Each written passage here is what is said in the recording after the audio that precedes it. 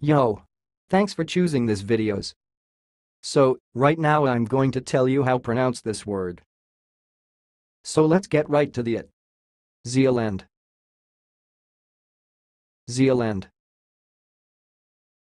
So I will repeat again, but a little bit slower. Zeealand. Zeealand. That's all, thanks for watching. If you liked this video, please subscribe to my channel. If you want to share your opinion, please leave comment for this video. Thanks and goodbye.